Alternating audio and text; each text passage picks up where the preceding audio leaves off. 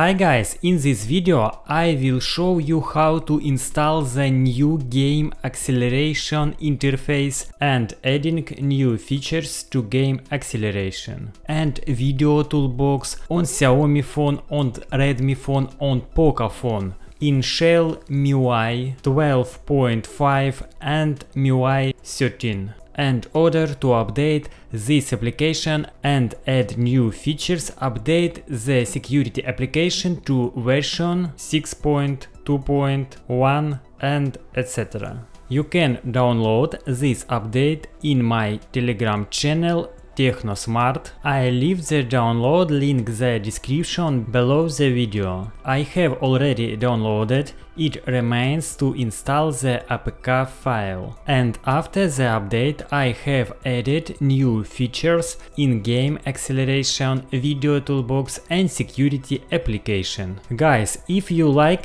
the video subscribe to my YouTube channel and Telegram.